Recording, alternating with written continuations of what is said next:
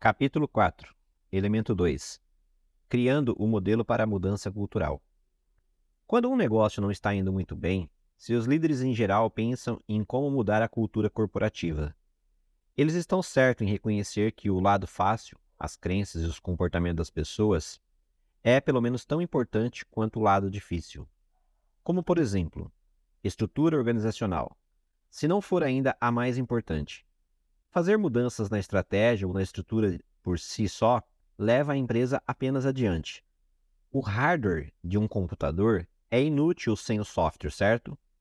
Da mesma forma, numa organização, o hardware, a estratégia e a estrutura é inerte sem o software, a crença e os comportamentos.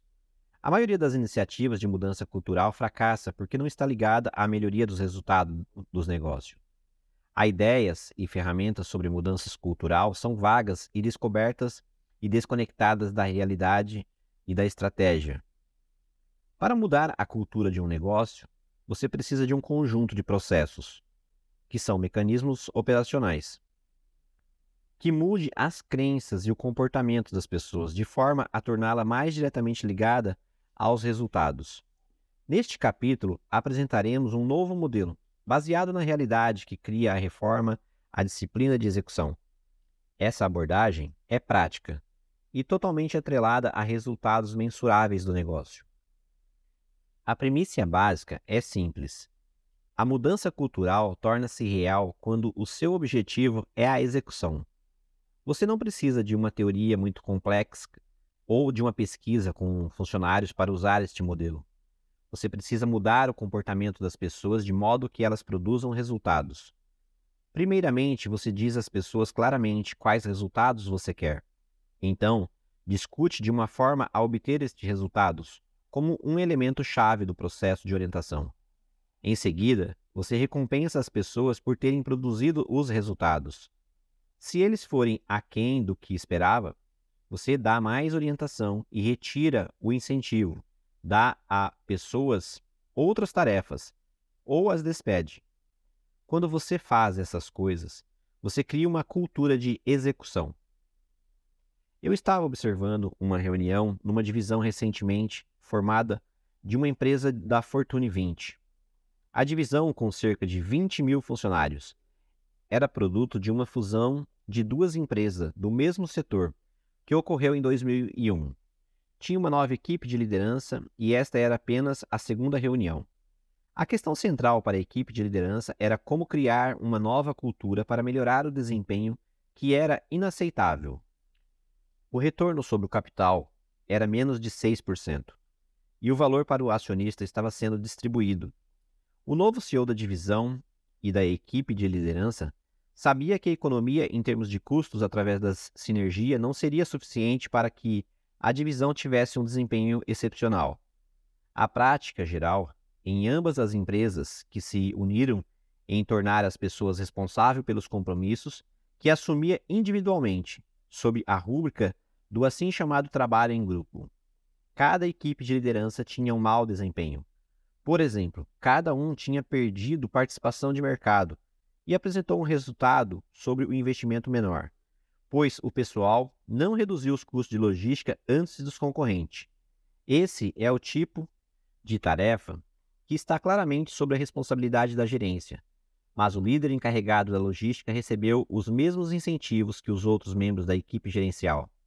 A equipe havia contratado uma firma de consultoria em comportamento humano especializada em diagnóstico cultural. O consultor fez uma análise cultural padrão para a base das pesquisas feita com funcionários contendo 50 ou 60 perguntas sobre os valores da divisão, que era integridade, honestidade, esse tipo de coisa. E a tomada de decisão era autocrática, ou se todos participassem dela e como o poder era distribuído. Os resultados foram apresentados de uma forma impressionante, mas nada na pesquisa mostrava como a divisão poderia trabalhar de maneira diferente em termos de crenças e comportamentos para poder atingir resultados expressivos. A discussão na reunião não estava chegando a lugar algum, até que o CEO da divisão, em seu estilo investigativo e característico, assumiu e começou a fazer a pergunta certa. Se queremos mudar a cultura, qual deve ser as nossas próximas perguntas? Um membro da equipe respondeu: Como a cultura deve ser mudada? Um outro membro da equipe disse: Melhore-a. Então alguém perguntou: Do que para quê? E a discussão continuou. O CEO dividiu a equipe em grupos de seis e pediu para que cada grupo encontrar dez partes de o que para quê. Os grupos escreveram alguns trechos grandes de uma cultura não baseada em desempenho para uma cultura de desempenho, de melhorias estatísticas para melhorias contínuas, de empresas orientada para o mercado interno para empresas orientada para o mercado externo. Mas faltava ser específico. O CEO continuou e desafiou os grupos a fazer uma lista mais específica e encontrarem uma mudança do que para o que e que pudesse melhorar substancialmente o comportamento das pessoas, de que direcionava o comportamento dos demais. Como a maioria das pessoas tem dificuldade de ser específica, o CEO deu o passo seguinte. Ele dividiu a equipe de liderança em subgrupos de duas pessoas e pediu que cada um par identificasse uma ideia de sobre como a cultura era e o que deveria ser. As equipes concordaram em melhorar a responsabilização dos resultados seria as mudanças mais importantes. Então o líder perguntou: Por onde começamos? E a resposta foi: Com cada equipe. O líder continuou: Com um de vocês está disposto a ser responsável pelo resultado? Houve um silêncio surpreendente. Mas se você não praticar o comportamento correto na sua equipe, alguém fará isso na sua organização? Ele perguntou. Não era necessário nenhuma resposta. A questão final foi: depois de mudarmos o comportamento do nosso grupo, o que faremos a seguir? O chefe do RH disse: comunicá-lo para 20 mil pessoas. O líder perguntou: como isso faria alguém mudar? Não vai funcionar por si só. O que funcionará é a prática da responsabilização pelos resultados, começando aqui, com esta equipe. Depois de nos tornarmos responsáveis pelos resultados, a fase seguinte é que esta equipe faça o mesmo, a mesma relação com os 300 gerentes desta divisão, sem os quais os 3 mil supervisores e 17 mil funcionários não irão vivenciar a cultura e a disciplina da execução. Então, eles discutiram ações específicas para incluir a responsabilização pelo desempenho na cultura da alta gerência da divisão dos 300 gerentes, que reportava a ela. Eles teriam que fazer um acompanhamento, dar feedback e incentivos atrelado ao desempenho e ao comportamento individual. O comportamento incluía cada equipe gerencial, tornando cada um deles seus subordinados direto também responsáveis. Operacionalizando a cultura. Recentemente, ouvimos o seguinte ditado: não pensamos em nós mesmos agindo de outra forma. Agimos a partir de uma nova forma de pensar. Agir de acordo com uma nova forma de pensar começa com a desmistificação da palavra cultura, reduzido a sua essência à cultura. De uma organização, ela é somada a valores, crenças, normas, comportamentos compartilhados. As pessoas que estão iniciando uma mudança na cultura em geral falam primeiro sobre mudar o conjunto de valores. É um enfoque errado, valores. Princípios e padrões fundamentais, como a integridade, o respeito pelos clientes, ou, no caso da GE, a ausência de fronteiras. Podem precisar de reforços, mas raramente precisa ser mudados.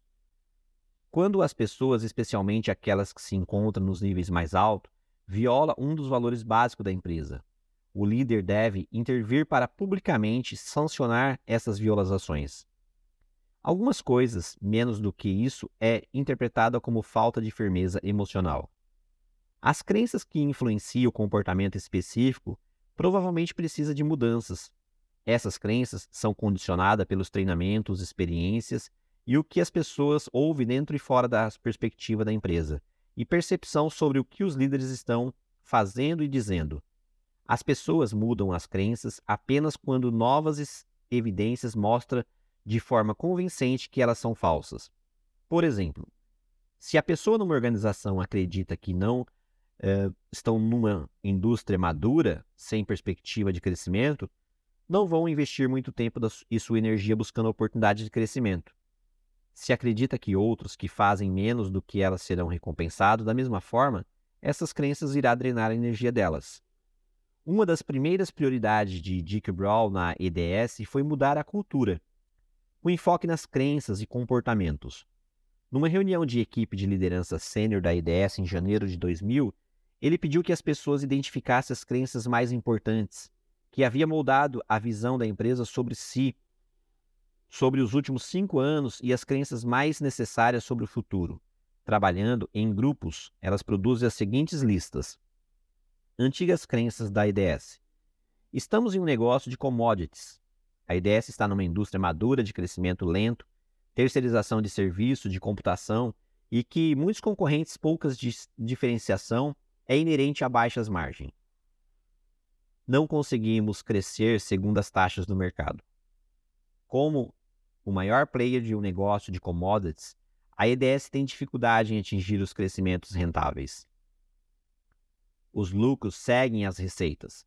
Se a EDS pode conseguir mais, mais negócio, vai de alguma forma ganhar dinheiro com isso. Esta crença é uma fórmula para alocar mal as receitas. Cada líder tem todos os recursos. Controlar é fundamental. Cada divisão tem total autonomia e protege seu território. Essa crença impossibilita a colaboração entre as unidades de negócios. Meu colega é o meu concorrente. Como a crença anterior, esta também é uma importante barreira ao sucesso, um comportamento internamente competitivo e de destrutivo. O concorrente, ele está lá fora, no mercado, não na próxima unidade de negócio. Trabalhar em gru grupo, compartilhar conhecimento e cooperação são absolutamente essenciais para vencer o mercado. As pessoas não são responsabilizadas pelo seu desempenho. Não é culpa minha. Sabemos mais do que nossos clientes. Nosso pessoal dirá para clientes de quais soluções ele precisa. Essas crenças impediu que o pessoal da IDS ouvisse adequadamente os problemas e a necessidade dos clientes.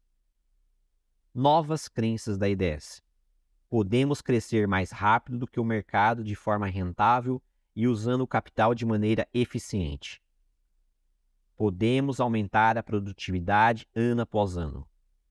Estamos comprometidos com o sucesso de nossos clientes vamos atingir a excelência em termos de serviço. Colaboração é fundamental para o nosso sucesso. Seremos responsáveis e comprometidos com o desempenho. Ouviremos mais nossos clientes. A segunda lista tornou-se uma agenda para mudança de atitudes, não apenas entre os altos executivos, mas para todos os líderes da IDS. Os comportamentos e as crenças transformaram-o em ação. Os comportamentos produzem resultados. E é aí que as coisas acontecem. Quando falamos em comportamento, estamos falando menos de comportamento individual do que a respeito de normas de comportamento. As formas aceitas e esperadas de comportamento de grupo de pessoas no ambiente corporativo. As regras de envolvimento. Como algumas pessoas os chamam, as normas são sobre o que as pessoas trabalham juntos. Como tal, são fundamental para a habilidade das empresas e criar vantagens competitivas. Atrelando incentivo ao desempenho. A base da mudança de comportamento é atrelar o incentivo ao desempenho e tornar isso transparente. A cultura da empresa define o que é apreciado respeitado, e no final recompensado diz às pessoas nas organizações o que é avaliado e reconhecido, e o in interesse de tentar fazer sua carreira mais bem-sucedida é onde elas devem se concentrar. Se uma empresa recompensa e promove as pessoas pela execução, sua cultura mudará. Muitas empresas fazem um mau trabalho quando atrela incentivos a de desempenho. Qual é o problema? Embora alguns líderes em algumas empresas consigam estabelecer bem essas correlações, muitos mostram uma grande fraqueza. Vimos várias empresas que as pessoas adoram dar recompensas. Elas adoram ser amadas, mas não têm firmeza emocional para dar feedback, retirar o incentivo ou punir as pessoas. Não se sente à vontade recompensando o desempenho e o comportamento. Elas adiam, disfarçam e racionalizam. Os líderes, às vezes, até criam novos cargos para que tenham mau desempenho. Como resultado, a organização fica totalmente confusa. Na IDS, Dick Brown foi rápido em garantir que os que têm bom desempenho terão recompensas maior do que aqueles que não atingem as metas. A falta de responsabilização havia sido um grande problema na empresa. Como liderança, entendeu bem. Não havia consequências negativas para o mau desempenho, relembra um executivo. Não apenas consequências negativas, mas se você fizer parte de uma panelinha de colegas da mesma universidade, não haveria responsabilização por comportamento negativo perante a empresa. Um outro executivo acrescentou: era sempre o problema de uma outra pessoa. Brown instituiu um sistema que classificava todos os executivos em grupos de acordo com o desempenho deles em relação aos seus colegas. Para distribuir a recompensa de forma proporcional, é semelhante à curva da vitalidade que Jack Welch introduziu na GE para diferenciar o desempenho ABC. Classificar as pessoas dessa forma gera controvérsia quanto aos gerentes e quando elaboram e executam o sistema de maneira descuidadosa, usando-o, por exemplo, para tirar arbitrariamente uma certa porcentagem de pessoas da organização. Se o sistema for acompanhado de orientação para aqueles que estão abaixo no desempenho exigido, dar-se a oportunidade de melhorar, e o sistema pode ajudar a criar uma cultura voltada para o resultado. Os processos só precisa ser íntegro. Deve-se coletar e usar informações certas com base no comportamento e nos critérios do desempenho. Os líderes devem dar feedback sincero para o seu pessoal, especialmente aqueles que ficam até o final da tabela da classificação. Era isso que Brown fazia. Por exemplo, ele diz: No primeiro ano, um funcionário veio a mim e disse: Seu sistema não funciona. No ano passado, eu fui muito bem classificado e este ano eu fiz o mesmo trabalho e atingi os mesmos níveis de desempenho, mas eu fui mal classificado. Eu disse: bem, deixe-lhe dar uma resposta para isso. É uma coisa ou outra, ou as duas. Número um, as chances de que você não tenha ido bem tão bem quanto foi no ano passado. Número dois, se você foi tão bem assim e fez o mesmo trabalho este ano, você foi mal classificado porque não melhorou e todos os seus colegas melhoraram. Você tem que entender que a IDS está melhorando e todos têm que melhorar seu trabalho. E se você estaciona, você fica realmente para trás. A EDS também considera o comportamento das pessoas ao estabelecer os incentivos. A colaboração, por exemplo, era importante para o sucesso do novo modelo de negócio, mas na antiga EDS ela não fazia parte do comportamento dos funcionários. Por isso, é, na parcela relativa do incentivo de seus salários, os executivos são avaliados e recompensados pela sua capacidade de trabalhar em grupo. Suponha que Bob, em uma linha de negócio, consiga um cliente e então passe esse cliente para Linda, em outra linha, pois sua unidade de negócio poderá atendê-lo melhor. Seu sacrifício será notado em sua avaliação e o líder da sua organização levará isso como conta quando definir seu bônus. O pessoal de venda recebe incentivos específicos para o negócio e passam para outras linhas de negócio. Não importa a abordagem utilizada para você para o determinar os incentivos e recompensas, o objetivo é sempre o mesmo. O sistema de remuneração precisa ter seus é, produtos finais corretos. Se você recompensar é, não apenas na base da meta atingida, ou superá-la, mas também considerando o comportamento desejável que as pessoas realmente adotam. Você deve aumentar o número de pessoas com desempenho A, definidas como aquelas que atingem o máximo de comportamento é, em desempenho. Deve despedir quem tem mau desempenho. Ao longo do seu tempo, o seu pessoal ficará forte e você obterá resultados melhores. Você obtém aquilo que avalia. É isso. Isso é um processo direto e simples. No começo do ano, eu escrevo uma carta para o líder de negócio da Honeywell, o líder da staff, e digo: é com sua meta que nós concordamos. O primeiro componente são as metas financeiras: crescimento de receita, renda, fluxo de caixa, produtividade e outras variáveis dependendo da natureza do negócio e do que estamos tentando atingir num determinado prazo. As metas serão ponderadas de acordo com a natureza do negócio. Por exemplo, se um negócio precisa desenvolver quatro novos produtos, eu posso rebaixar as metas para o crescimento em vendas e ampliar a meta para o lançamento de produtos. O segundo componente seria as outras metas, focadas no que estamos fazendo neste ano e ao longo do prazo. Essas metas podem ser qualquer coisa, desde criar uma infraestrutura, Six Sigma, até a entrada de um mercado específico. Avaliamos formalmente o desempenho e o potencial, duas vezes por ano em nossas avaliações de recursos gerenciais, e estas atrelamos aos resultados de remuneração. O gerente geral de cada unidade passa a meta específica para cada um dos seus subordinados direto.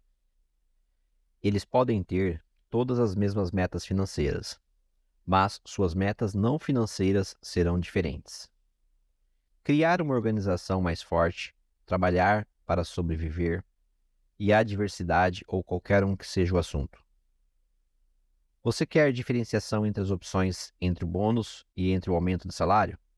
A diferenciação é o segredo para desenvolver uma cultura de desempenho. Para as 250 pessoas que melhor desempenho, uma opção de ação ficam competitivos em termos de salário base. Mas qualquer um que queira ganhar é, o direito na esse direito na Manuel terá que ganhá-la com as opções. Mas elas não são um direito. Por exemplo, eu tenho um profissional que é bom no seu trabalho, mas não mostra potencial adicional. Vou pagar a ele um bônus em dinheiro considerável, mas poucas opções de ações e talvez nada em concessão de ação. Mas, por outro lado, alguém parece ter muito potencial. Mas se não fizer um bom trabalho em um ano, vou dar a ele menos dinheiro porém continuar motivá-lo com opções, pois o considero um ativo para o futuro da empresa. Fizemos tudo o que está em nosso alcance para recompensar pessoas por terem feito ao máximo e assim que conseguimos uma cultura de desempenho.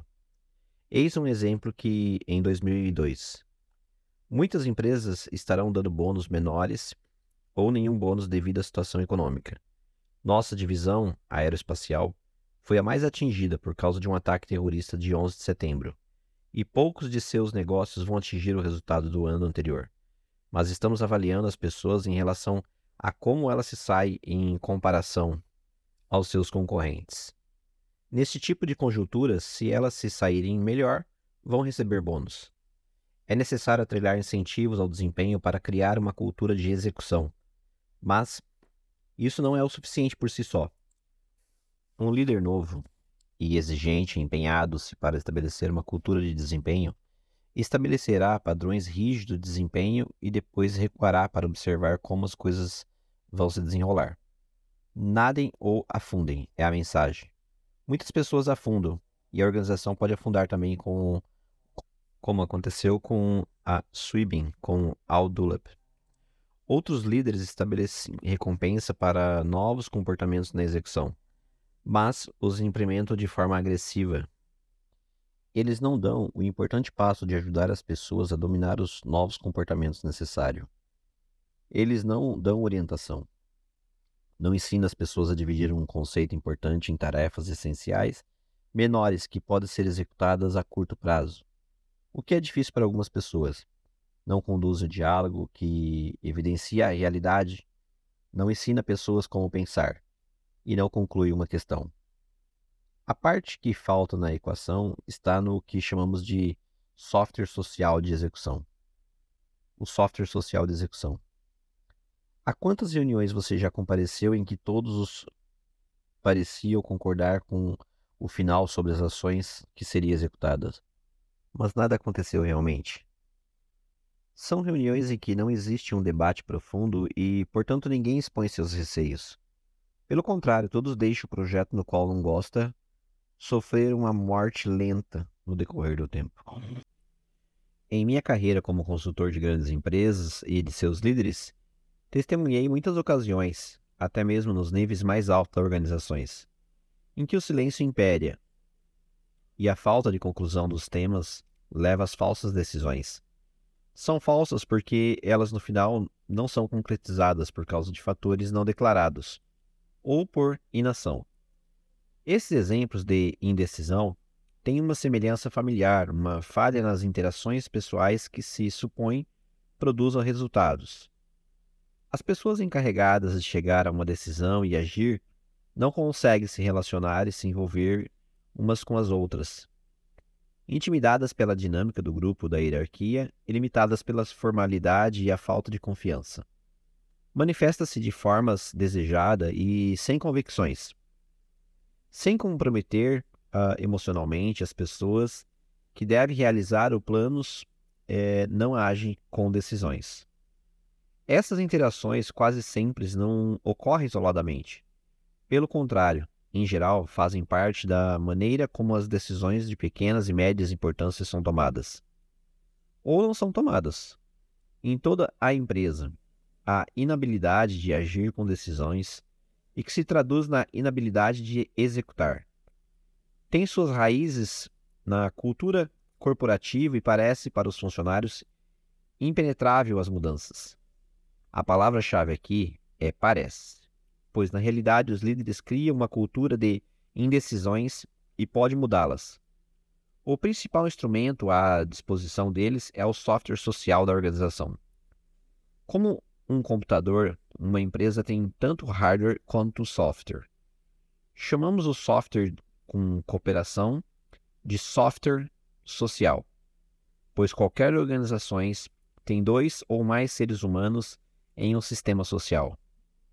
O hardware inclui estruturas organizacionais, definições de incentivos, salários e sanções, elaborações de relatórios financeiros e seu fluxo.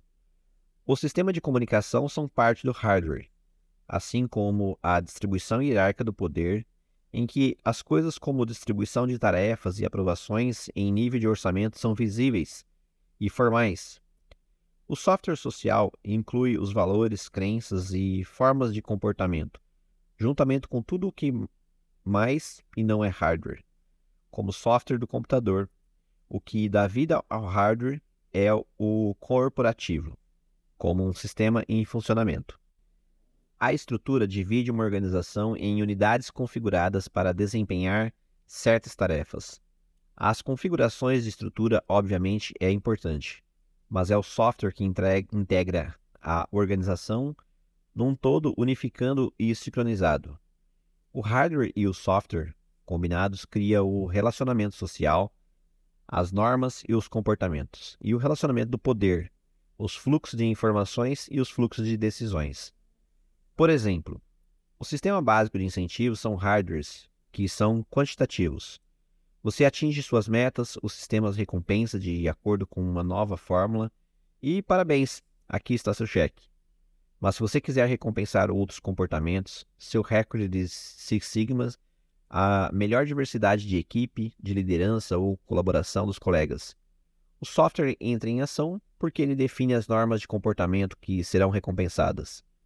Os líderes que criam prêmios inigualáveis para aqueles com alto desempenho, as pessoas de alto potencial, estão criando um software social que direciona o comportamento. As pessoas trabalham mais para diferenciar-se. Um componente-chave do software é o que chamamos de mecanismo operacional social. São reuniões, apresentações e até trocas de memorandos ou e-mails formais ou informais, em qualquer lugar que o diálogo aconteça. Duas coisas fazem os mecanismos operacionais. Não apenas reuniões, primeiramente são integradores, atingindo toda a organização e quebrando barreira entre unidades, funções, disciplinas, processos de trabalho e hierarquia, e também entre as organizações e o ambiente externo. Os mecanismos operacionais sociais criam novos fluxos de informações e novos relacionamentos de trabalho. Propicia que pessoas de, que normalmente têm muito contato troque seus pontos de vista, compartilhando informações e ideias, e apresenta a entender a sua empresa como um todo, e consegue transparência e ação simultânea. Em segundo lugar, Os mecanismos operacionais sociais estão onde as crenças e os comportamentos de software social são praticados, consistentemente e incansavelmente.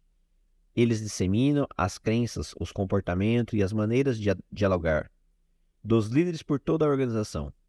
Outros líderes aprendem a passar essas crenças e comportamento nas reuniões, interações formais e informais dos níveis mais baixos da organização que preside incluindo orientação e feedback. Ele se torna seus mecanismos operacionais sociais, e isso ocorre em toda a linha. Ligando entre si os sistemas de avaliação e incentivo, o mecanismo operacional social coletivamente se torna o que chamamos de sistema operacional social de corporação. Como tal, eles direcionam a sua cultura. Nos processos de pessoas, estratégias, operações, por exemplo, as reuniões de avaliações que reúnem os principais líderes da empresa são o mecanismo operacional social mais importante. Os processos combinados formam o sistema operacional social. O sistema operacional social altamente desenvolvido da GE é fundamental para o sucesso da empresa. Seus principais mecanismos operacionais sociais incluem o Conselho Executivo Corporativo, que se reúne trimestralmente. A seção C, análise anuais de liderança e da organização, análise de estratégia de operações, e Boca ao encontro anual de Boca Raton, Flórida, onde os gerentes operacionais se reúnem para planejar as iniciativas para o ano seguinte e relançar as iniciativas atuais. Nas reuniões do CAC, que dura é, dois dias e meio aproximadamente, 35 dos principais líderes da GE analisa todos os aspectos de seus negócios e a conjuntura externa, identifica as maiores oportunidades e os problemas da empresa e compartilha as melhores práticas. O CEO também utiliza fórum para observar como seus líderes pensam, como trabalham junto e para dar-lhes a orientação.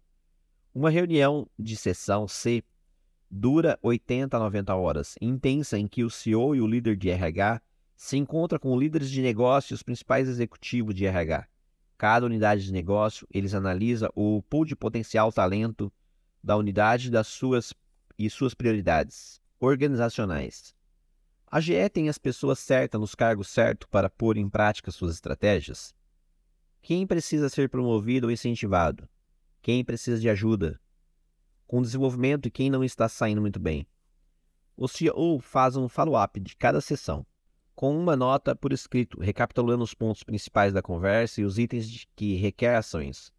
Através de mecanismo, escolher e avaliar as pessoas é uma competência-chave na GE. As reuniões de estratégias S1 acontecem no final do segundo trimestre delas o CEO e o diretor financeiro e os membros da staff discutem as estratégias para os três anos seguintes, incluindo as iniciativas acordadas pelo CEC e as adequações entre estratégias e as pessoas encarregadas de executá-las. O CEO também faz um follow-up com uma carta para os líderes, destacando os itens que requer ações, com os quais concordam as reuniões. A realização, em novembro, é uma reunião do plano operacional que enfoca mais 12 a 15 meses subsequentes, ligando as estratégias, prioridades operacionais e alocação de recursos. Neste meio tempo, outros mecanismos operacionais sociais estão em funcionamento. Em abril, a AGE faz pesquisa online com 11 mil funcionários para obter feedback sobre as iniciativas se estão indo bem em toda a organização. Em outubro, os 150 principais executivos da corporação se reúne no Crotonville Learning Center para analisar o progresso das iniciativas, lançar os planos operacionais para o ano seguinte e participar dos cursos de desenvolvimento de executivos. E na reunião da CC, em dezembro, entre outras coisas, os executivos estabelecem as agendas para reuniões de Boca Raton. Esse sistema de mecanismo operacional social é a forma que os líderes da GE encontraram para interligar uma empresa com os negócios tão diversificados que as pessoas às vezes chamam de conglomerado.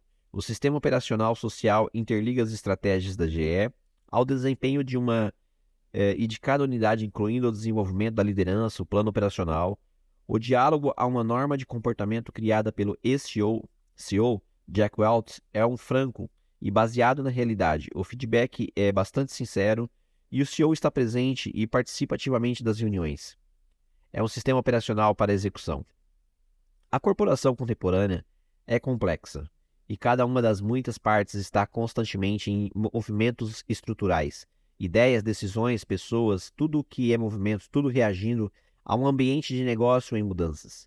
O sistema operacional social é constantemente, mais do que qualquer coisa, fornece o um modelo consistente necessário para criar formas comuns de pensar e se comportar e executar. No decorrer do tempo, ele transcende e até as culturas locais mais arraigadas. Nosso sistema operacional social na Honeywell não é tão elaborado quanto o da GE, mas serve ao mesmo propósito. Todos os nossos comportamentos estão evidentes no processo do pessoal, no processo de estratégia, no processo operacional e nas duas reuniões gerenciais, as quais são 100 líderes comparecem e nessas reuniões que as pessoas participam, seus comportamentos mais interessantes, a partir delas, ela se entende para toda a organização. Uma, uma das coisas mais importantes que as pessoas aprendem com o processo é o entendimento de que como trabalhar juntas num diálogo construtivo.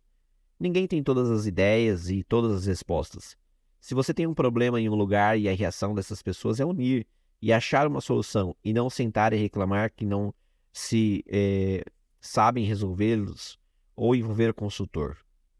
Nós esperamos que as pessoas saibam tudo, esperamos que as consigam melhores respostas e puderem a isso vem através do trabalho junto, praticar esse diálogo construtivo ao longo do tempo, cria confiança nas pessoas para que ataquem problemas poucos comuns quando as aparecem.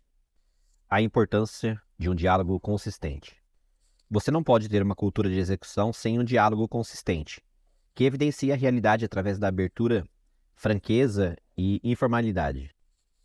Um diálogo consistente torna uma organização eficaz na tarefa de coletar informações, entendê-las e transformá-las para produzir decisões.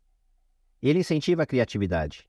A maioria das inovações e, invenções está latente em um diálogo consistente. No final, ele cria mais vantagens competitiva e valor para o acionista. O diálogo consistente começa com as pessoas que participam com a mente aberta. Elas não caem na armadilha das ideias preconceituosas ou vão armadas com agendas próprias. Elas querem tornar o conhecimento de novas informações e escolher as melhores opções, por isso, ouvem todos os lados e fazem as suas próprias contribuições. Quando as pessoas falam abertamente, expressam suas verdadeiras opiniões e não aquelas que agradarão os poderosos ou manterão a harmonia, na verdade, a harmonia buscada por muitos líderes que não querem ofender ninguém, por ser inimiga da verdade, pode silenciar o pensamento crítico e levar a uma tomada de decisão não transparente. Quando prevalece a harmonia, é assim que as coisas são resolvidas. Depois que os principais envolvidos deixam a reunião, os líderes vetam as decisões que não gostam, mas não discutem na hora. Um bom lema para seguir é: a verdade acima da harmonia. A franqueza ajuda a varrer mentiras silenciosas e engavetar os vetos, e impede que sejam lançadas iniciativas que emperram o retrabalho, que sugam a energia das pessoas. A informalidade é fundamental para que haja franqueza. Era da máxima de Jack Welch. A formalidade impede o diálogo, a informalidade encoraja-o. As conversas em apresentações formais abrem pouco espaço para debate. Sugere que tudo um seja um script e é predeterminado. O diálogo informal, ele é aberto, convida as perguntas e encoraja as espontaneidades e pensamentos críticos, numa reunião em que o ambiente hierárquico formal, uma pessoa poderosa pode acabar matando uma boa ideia. Mas a informalidade encoraja as pessoas a testar o seu modo de pensar e experimentar e checar a validade de suas ideias. Possibilita que elas corram risco entre os colegas, chefes e subordinados. A informalidade traz a verdade à tona. Evidencia as ideias inovadoras que podem parecer absurdas no início, mas que gera importantes descobertas. Finalmente, o diálogo consistente leva a uma conclusão. No final, as pessoas concordam sobre o que cada um tem a fazer e quando. Ela se compromete num fórum aberto. São responsáveis pelos seus resultados.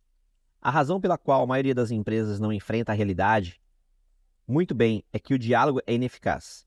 É isso que aparece nos resultados. Pense nas reuniões a que você compareceu, aquelas que for, foram uma perda de tempo e aquelas que geram e geraram energia e grandes resultados. Qual a diferença? Não é a agenda, se a reunião começou na hora ou se houve disciplina. E certamente não foi as apresentações formais. Não. A diferença foi a quantidade e a qualidade do diálogo. Numa reunião típica de uma empresa, uma avaliação de negócio, por exemplo, o diálogo é limitado e potencializado. Algumas pessoas querem esconder e suavizar o que dizem e evitar confrontos. Outras precisam colocar as pessoas no seu devido lugar em grupos e que têm ambos os tipos das pessoas, o que é o caso de muitas reuniões. O diálogo torna-se uma luta para matadores e uma humilhação ou aborrecimento para os passivos. Nessas reuniões, pouco se expõe, da realidade ou das questões que avançam. Agora, pense em uma reunião que produziu grandes resultados, que ateve a realidade e gerou um plano de resultado. Como isso aconteceu? O diálogo altera a psicologia do grupo, pode ampliar a capacidade do grupo ou diminuí-la. Pode ser energizante ou extenuante. Pode criar autoconfiança e otimismo ou produzir pessimismo. Pode criar unidade ou facções implacáveis. Um diálogo consistente traz à tona a realidade, mesmo quando ela deixa as pessoas desconfortáveis, pois tem próprios e propósitos e significativos. É aberto, difícil, focado e informal. O objetivo é gerar vários pontos de vista, ver os prós e os contras de cada um e tentar, honesta e francamente, construir novas perspectivas. Essa é a dinâmica que estimula novas perguntas, novas ideias e novas per percepções em vez de perda de energia, ao defender a velha ordem. Como você faz as pessoas dialogarem de maneira consistente quando estão acostumadas a esvaziar o jogo corporativo clássico? Ele começa no topo da organização com diálogos do líder. Se ele dialoga de forma consistente, os outros líderes entenderão o sinal.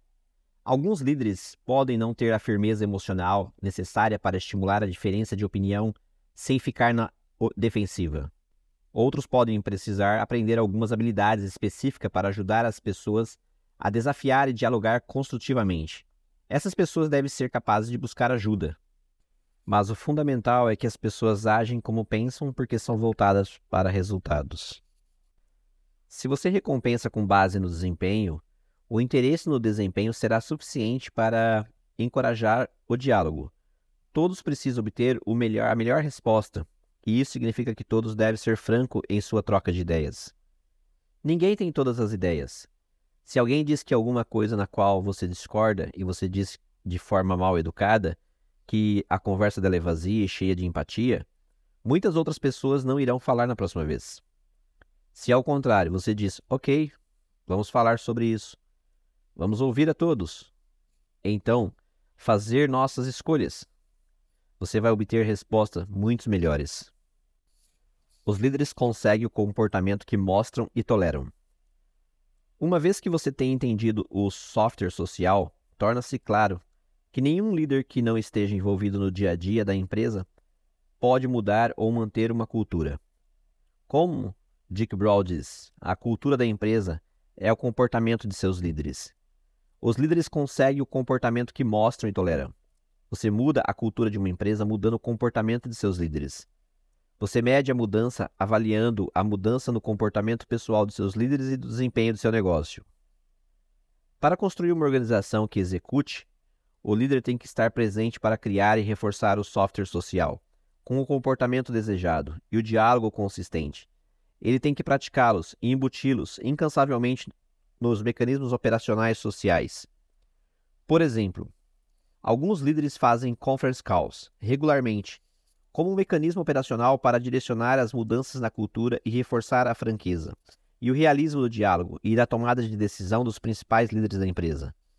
Os telefonemas mostram que a responsabilidade e o comportamento das ações são importantes. Os próprios comportamentos dos líderes incluem sua comunicação com as pessoas e todos os níveis, modelou e reforçou as crenças, e comportamentos que seu pessoal precisa aprender. O diálogo que o líder conduz nessas conference call cria um quadro geral da empresa para que todos vejam. Todos vêm separado para explicar o que será feito no dia seguinte, para cumprir os compromissos e os resultados, e se estiverem aquém das expectativas, discutindo todo o negócio e focado o ambiente externo. Todos que participam sabem mais sobre as tendências gerais, a concorrência, os problemas e as barreiras. Se estão fazendo sua parte para ajudar a construir uma cultura de execução, essa informação chegará a toda a empresa. Você poderá criar uma cultura de execução em seu próprio negócio se ele é parte de uma organização maior que não tem uma cultura? Se você tentar, você se tornará um excluído social. As chances são de que você possa fazê-lo desde que comece a mostrar o aumento de lucro e receita. Como líder, você não quer enviar o seu pessoal em missões suicida, mas acho que você pode fazer isso até se não for parte de um grande ataque corporativo. Eu sempre faço minhas avaliações com a ideia de obter a verdade. Quando me tornei um auditor na empresa no final da década de 1960, eu visitei filiais da GE em todo o mundo e vi gerentes com vários estilos diferentes. Observando os bem-sucedidos e os que fracassam, confirmei minha impressão de que Quanto mais você envolve e quanto mais você se dedica em discutir os problemas, melhor saberá resolvê-los. Essas lições ficará comigo para o resto da minha carreira. Quando eu me tornei gerente de imunidade da GE Capital em 1978, estava seguindo minhas essas práticas. Mas neste ano, Jack Welch entrou na empresa como executivo do setor de consumo e intensificou esse processo significativamente ficou mais intenso para mim, mais voltado para as ações e mais voltado para o que faremos sobre isso. Ele pegou o que eu sabia e tornou mais intenso. Ele deu ao processo de pessoal uma profundidade e uma intensidade que nunca tinha visto antes. Quanto mais experiências eu adquiri como líder, mais experiências foi incorporada aos processos. No processo de pessoal, por exemplo, quando eu comecei minha primeira ideia foi ver como as pessoas se saíam em seu trabalho. Afinal, é isso que faz negócio ir adiante.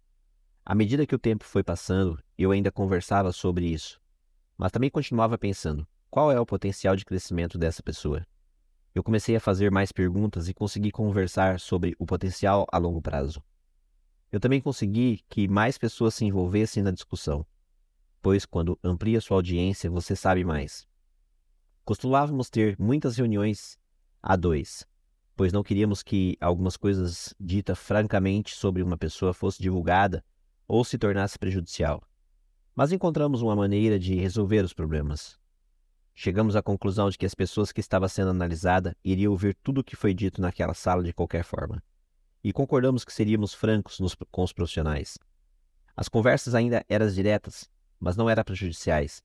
Tomávamos cuidado para que não dizer nada sobre as pessoas, que não falássemos sobre a presença dela, Sou uma pessoa prática na, por natureza e sempre fui entusiasmada em relação ao meu trabalho. Sou entusiasta, questionador, curioso sobre ele. E é isso que determina se você pode fazer essas mudanças em uma organização. Se achá-las problemáticas ou estressantes, não vai funcionar. O sucesso na execução de uma mudança cultural depende primeiramente de uma, principalmente de ter pessoas certas.